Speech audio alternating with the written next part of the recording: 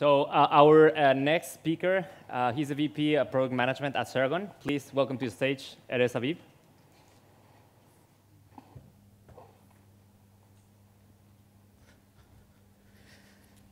Okay. Um, I know that it's uh, late and uh, it's not uh, in favor this time of the day. Everybody is relatively very tired from the last two days of good work.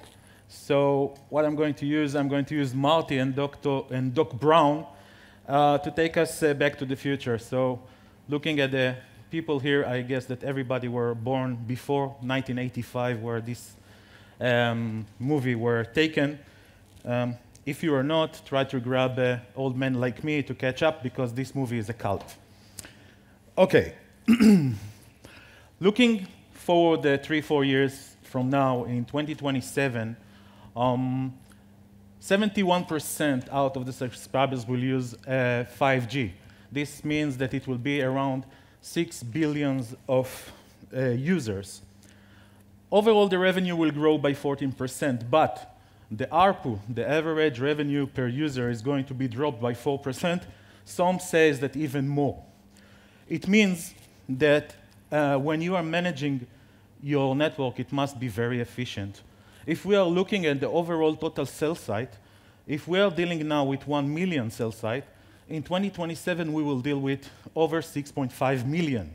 This means six times more. And if we are looking at the compound aggregate growth rate, it's around 45% per year.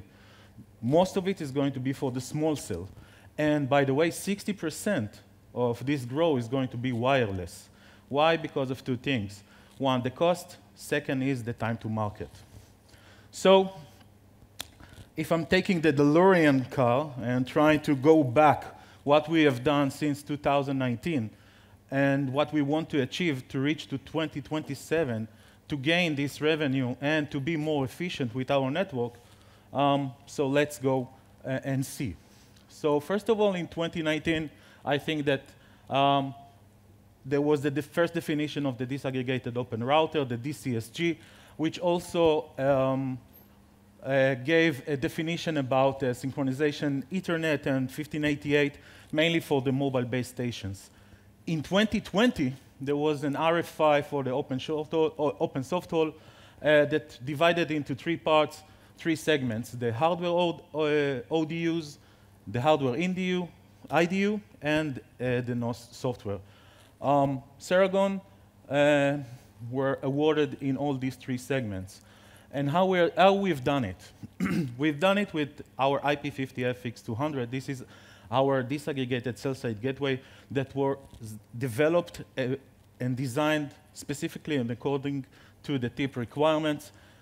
And the main idea is that this disaggregated cell site gateway, whether it's layer 2 or layer 3, um, combine inside of it a virtual indoor unit. So the idea is to have two in one. When you are talking about cell site, you have the indoor unit, you have the radio on the, on the, on the tower itself, and then you have the IDUs, the indoor units, and afterwards you have a cell site router. The idea is why not to combine these two boxes into one and to be much more efficient in terms of CapEx and, of course, OpEx. So this is what we are doing. It will help us to uh, do much better traffic optimization because this box, based on the Qumran UX chipset, also supporting the layer 1 link bonding, which can combine any kind and any speeds of ports. it's optimal for the 5G services using the 1588 TC and BC, of course, and the TCO reduction. Uh, it's very well aware why we have it. So how we are doing it, like everything in life that's split into, every good thing in life that's split into three, so does our solution. When we're talking about the open hardware platform, we have our own uh, developed uh, um, hardware, but our solution can be fit and fixed into any kind of commercial off-the-shelf platform. This is the first openness that we have. Secondly, for the network operation system, we are using IP Infusion. IP Infusion is our partner. We are very honored and pleased to work with them. We think that they are the best in the class uh, when it comes to layer 3 uh, NOS. And uh, uh, we are seeing them as a partner for the next long years that to come.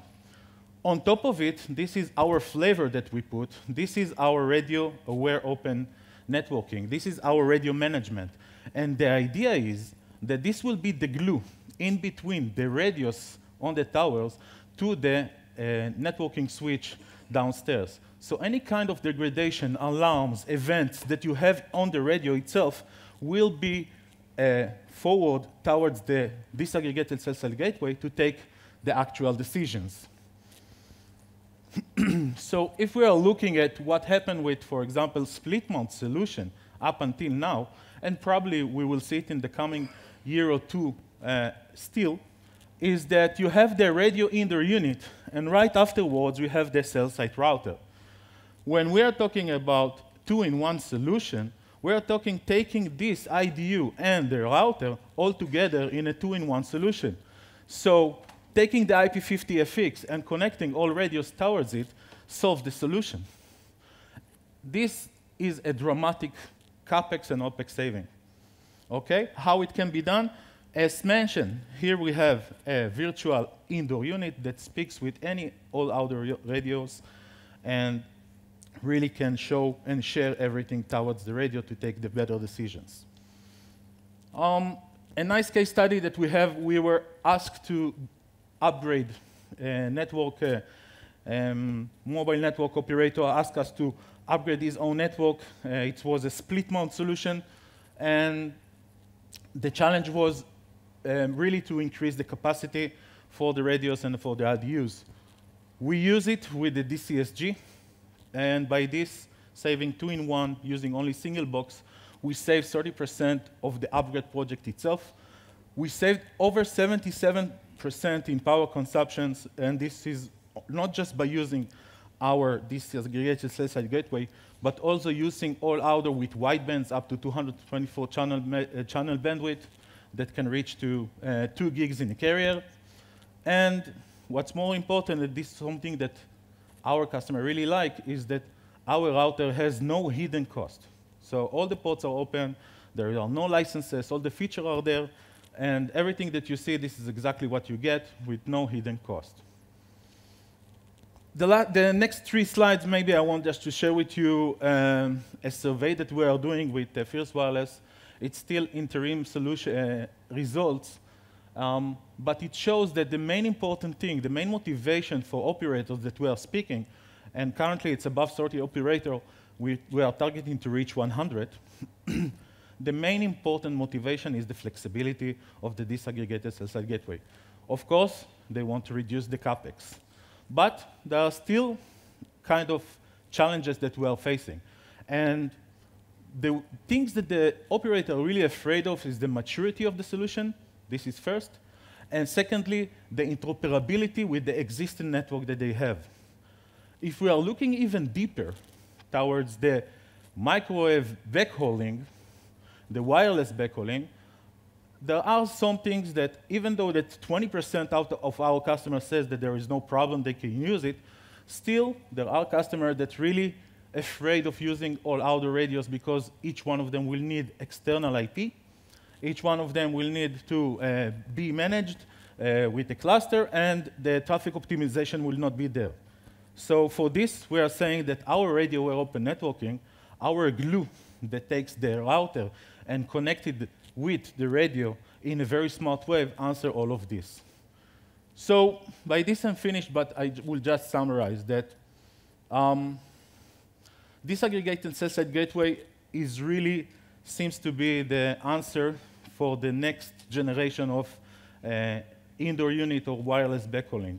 There are challenges. We need to work on the maturity of the solution and also to work about the interop with all the all already existed uh, network. We are going there. We are winning. And with the collaboration and the support of this community, we will win even more. Thank you very much.